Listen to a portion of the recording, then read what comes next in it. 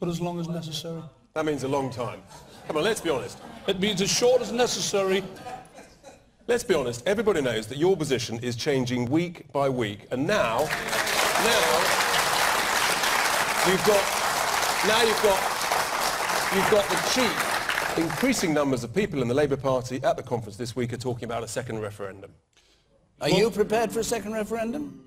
I fear that we may have to prepare for a second referendum, given that I fear that we are potentially, which is a shocking thing. All right. Let me t- We are, we are tell you- potentially, we are potentially Ian, being hang on a sold second. down the But river. listen, when, when someone is peddling uh, myths, it, it's, it, it needs to be responded to. The Labour Party are committed to the will of the people. Good. We will be leaving the EU. So no second no referendum. Problem. No, Chris- crystal no clear. second referendum. everybody heard that? No Crystal second, clear. no second referendum. Excellent. That, that's the, the, the policy of the Labour Party. It's If people okay. like yourself continually it's- it's- perpetuate these myths, it's just not, not helpful for anybody. The Labour Party on